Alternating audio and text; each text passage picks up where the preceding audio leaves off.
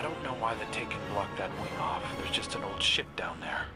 Spider wanted me to junk it, but I might have told him that I did and kept it for myself. Doesn't run anymore. It was already in pretty bad shape before we got to it.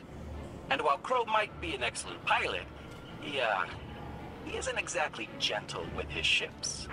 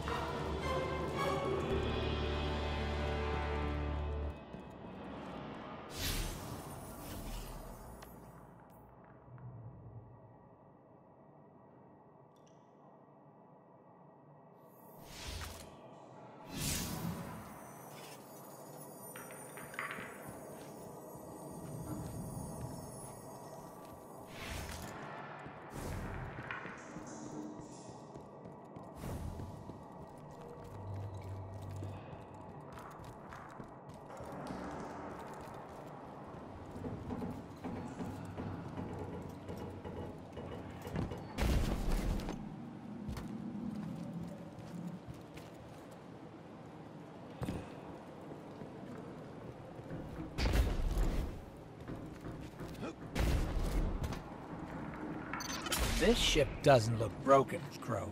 That's not even the same ship. Or, I mean, it has the same silhouette, but this is... It's a gift. Just like Hawkmoon, the Traveler transformed the ship, made it into something else. Something new.